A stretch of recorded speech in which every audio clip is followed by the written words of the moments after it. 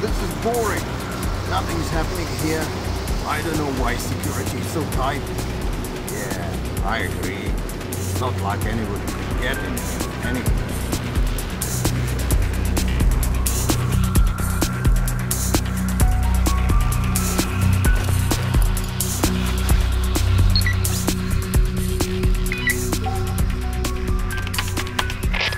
How's the weather out there, Jones? Hope that wind your equipment.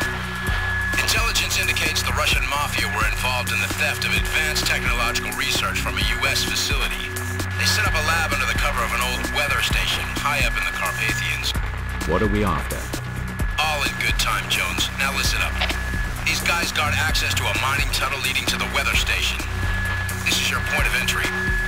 A direct assault is not an option. Sneak through the compound, get over the river into the mine shaft. Recon the area with a map computer. Use your binoculars to observe their patrol routes. Stealth will be vital, so keep it quiet. And stick to silenced weapons unless you have no other choice.